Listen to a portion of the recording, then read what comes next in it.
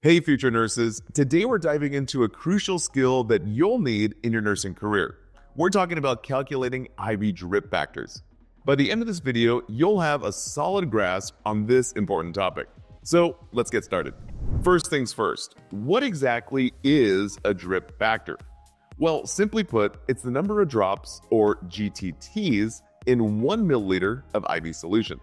This is key for ensuring patients receive the correct amount of the medication or fluids. Now, there are two main types of IV tubing that you'll encounter. The first is macro drip tubing, wider tubing with larger drops, typically 10, 15, or 20 drops per ml.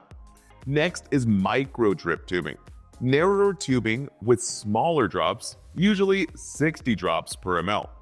So, knowing which type you're using is crucial for accurate calculations. Now, let's break down the formula.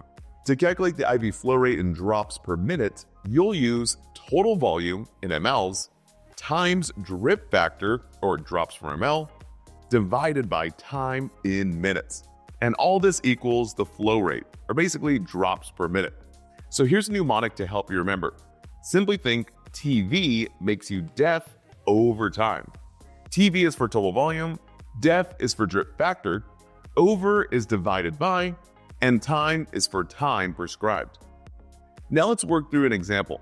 Let's just say the doctor orders 1200 mLs of saline to infuse over 6 hours, and you're using a macro drip tubing with a factor of 10 drops per ml.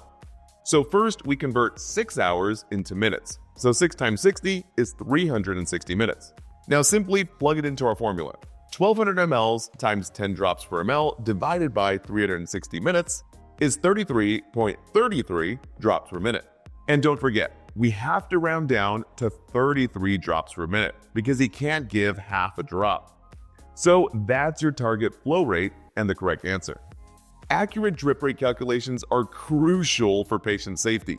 Too slow, and the patient might not get enough medication. But too fast, and you risk overhydration or even medication toxicity. So that's why mastering this skill will make you more confident and a more competent nurse. Like any skill, practice makes perfect. Try different scenarios, use online calculators to check your work, and don't be afraid to ask your instructors for more help. Remember, this is a skill that you'll use throughout your nursing career, so it's vitally important. And there you have it the basics of IV drip factor calculations. Now, if you want more information about IV drip factors and make it super simple, simply click this link right here. So keep practicing and you'll be a pro in no time. Again, thank you so much for watching, and I'll see you in the next videos.